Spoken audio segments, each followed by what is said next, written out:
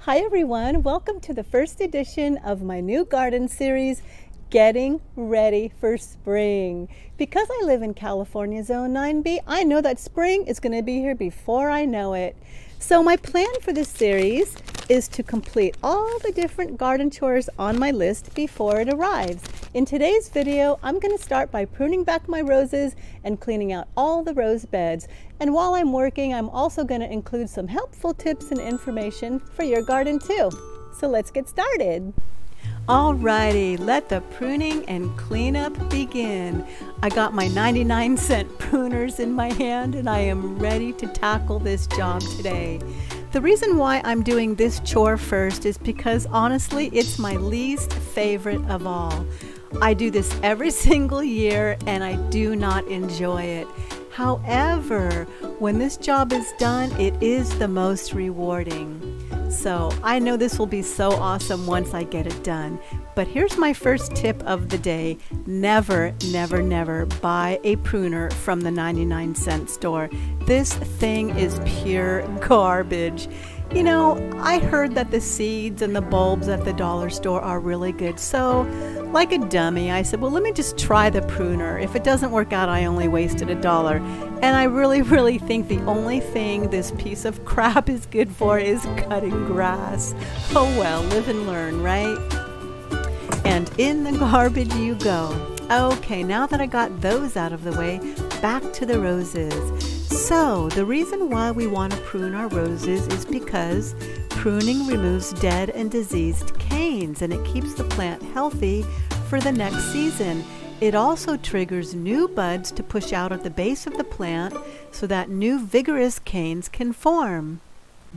It's kind of like giving your plant a fresh new start, and the best time to prune your roses are in late winter or early spring. It really depends on your own garden zone, but the simplest way to know when to do this is as soon as you see new growth popping up, then it's time to prune. Okay, so which branches or canes, if that's what you want to call them, should you remove? Well, first you want to start with the obvious. Remove all the broken, dead, and diseased wood first. And you'll also want to remove any crossing canes. Basically those branches when they rub against each other, it causes damage, it encourages disease, and it just doesn't make the plant look very good.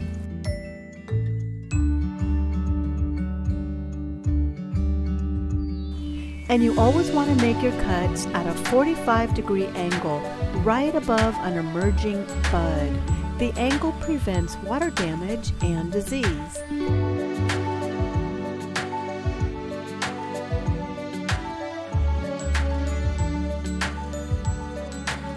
Okay, now I want to talk to you about suckers, how and why you should remove them. Sucker canes are undesirable growths that originate from the ground level or from below the crown of the rose.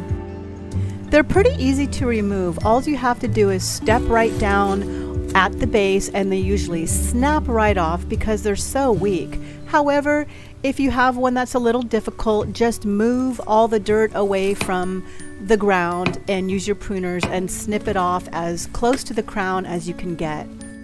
Now the reason why you want to remove the suckers is because if they're allowed to develop, they actually grow as long arching canes. They look absolutely ridiculous and they have way more vigor than the whole rose bush itself.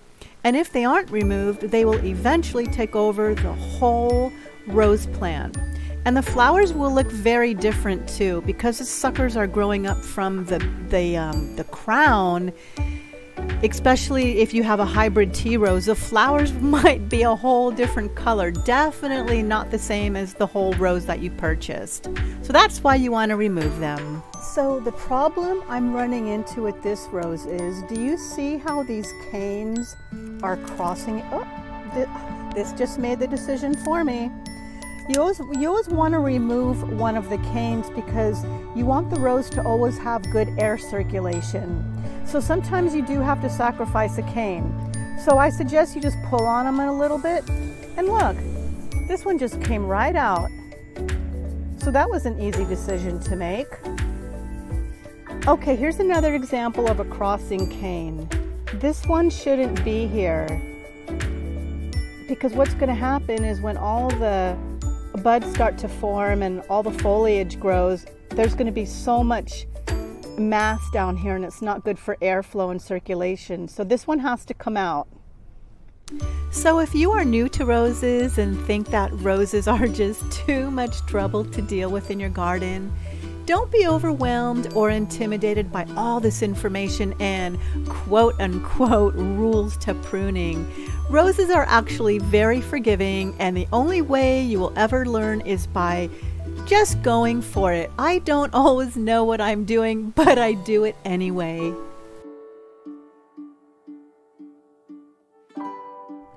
Here's a little tip that I find very helpful. When it's time to clean up all the canes, whether you wear gloves or not, never use your hands. Even with gloves on, sometimes they'll stick in the thorns. I just use my pruners and use it like a claw.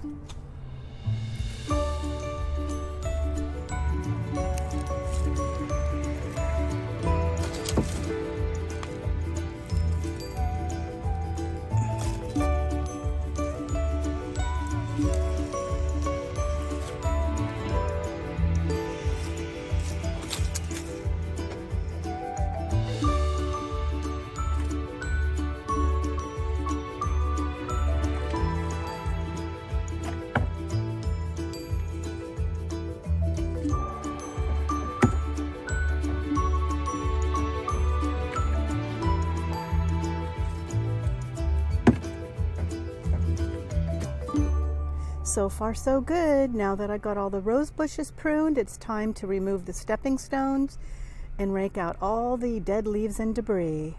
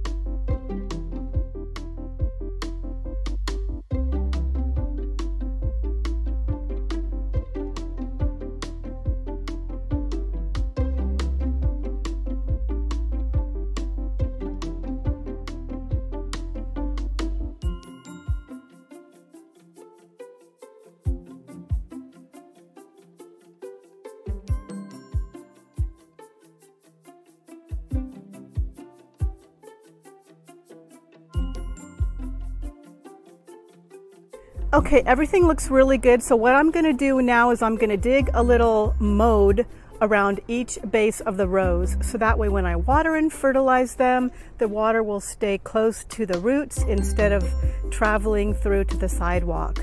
It's super easy. Let me show you how it's done.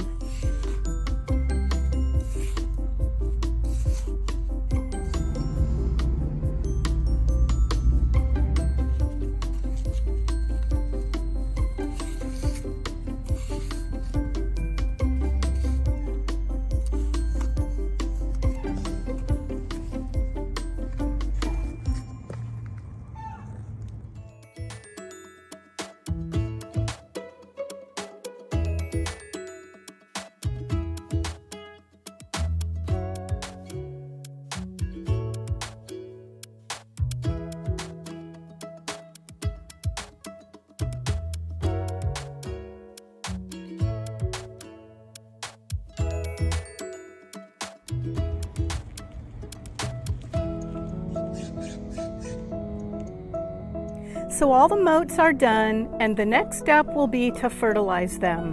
However, I'm not going to fertilize the roses just yet. I'm going to wait till the new growth is at least six inches long. The reason why I'm not going to fertilize them now is because I don't want to stimulate flower production. I kind of want to let Mother Nature take its course and let the roses rest because right now they're in a dormancy stage. I'm going to let them wake up on their own. And then as soon as the new growth is about six inches long, then I will start feeding them. And as you can see, it won't be long. Well, I hope you found this video fun and helpful. Thanks for watching.